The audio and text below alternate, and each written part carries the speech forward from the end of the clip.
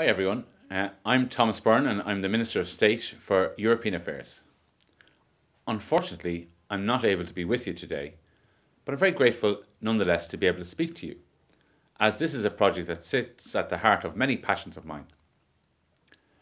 Let me begin by briefly talking about the Communicating Europe initiative, which helped fund the booklet being launched today. The Communicating Europe initiative aims to promote dialogue about Ireland's relationship with the European Union, as well as raise awareness of the role that the European Union plays in our daily lives.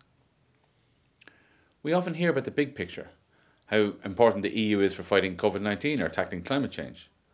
But we hear less, I would say, about how the European Union positively affects us in our individual daily lives.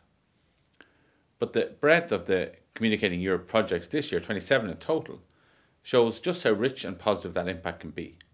Projects have ranged from children uh, phoning into a radio show to discuss uh, the policies and politics of the EU to an academic discussion uh, on the connection between the EU and peace building in Northern Ireland. Next year, of course, we will be continuing the initiative and I would encourage you to participate. As some of you will be aware, in January 1972, Ireland signed the Treaty of Accession to join what was then the European Economic Community.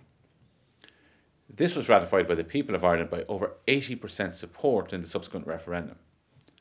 So, next year, a major focus for Communicating Europe will be on highlighting and celebrating 50 years of being a member of the European Union. So, if you're interested, do keep an eye on our websites and our social media channels. I'm certainly hopeful we'll receive another application from the Cork Education and Training Board. Their connections to Europe are both deep and impressive through Cork ETB's engagement with fellow institutions across the European Union, they benefit from many advantages. Students have access to the Erasmus Plus programme, as well as opportunities for work placement assignments in a host of EU partner organisations.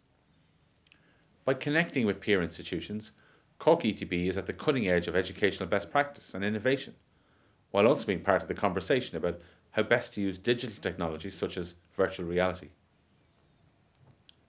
I've mentioned that the project sits at an important crossroads of the issues that I'm passionate about.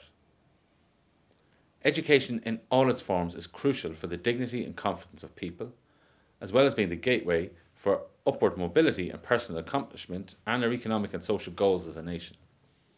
This is especially true uh, of vocational and skills education, which this booklet focuses on. Vocational education gives people a second chance and a way to change the course of their career and even their lives. But what's at stake here is more than individual issues or even local Cork issues. Vocational programmes like those offered by Cork ETB are tangible examples of what we will need to do much more over the next decade as we transition to a green economy. Across Europe, ordinary citizens are having their say on what they think Europe's future should look like. One of the most endorsed ideas at the discussion in that discussion is that the EU must ensure its climate change strategy includes a just transition that protects workers, and enables retraining and upskilling and protects communities as well.